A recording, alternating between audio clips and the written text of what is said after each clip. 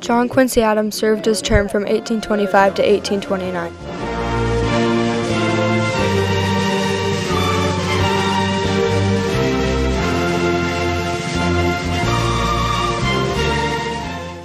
Try and fail, but don't fail to try.